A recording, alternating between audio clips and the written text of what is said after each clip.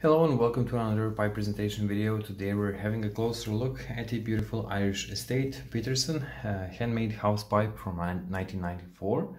Sandblasted finish, bend shape with saddle stem and a P-lip, very thick briar, massive bowl, sterling silver mounted on shank, sterling silver band, um, unfiltered pipe in mint condition with barely visible signs of wear or use.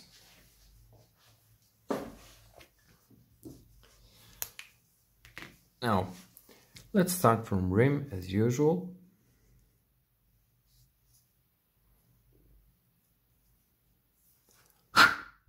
It's all nice and smooth with fresh layer of coating. You can't really see inside. It's super smooth all the way. Smooth finish on rim. Fine sandblast on rest. Um, stain is maybe like Bordeaux color, something like that. Very dark red.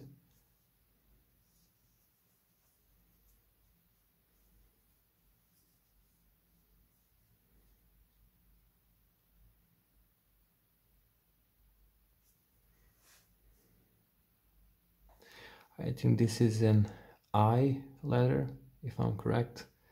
It stands for year 1994 anyway it's all crisp and clear visible. Basically perfect condition. Same goes for uh, for the stem P-lip stem.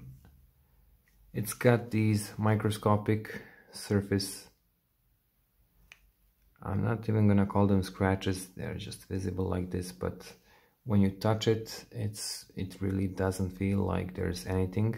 So just some surface signs of aging let's say. Everything else great. Oops it's kind of big. Hard to maneuver around. Army mount connection. Just keep it straight when you have big hands, when you put it in your hand, you can really feel the size of it.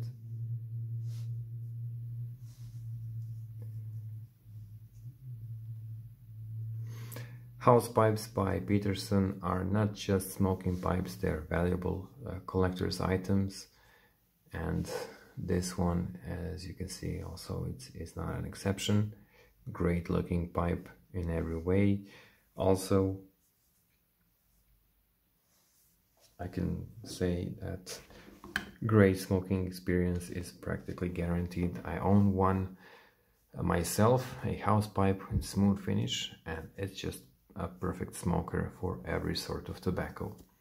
That's all for this short presentation. Thank you all for watching and see you in the next one.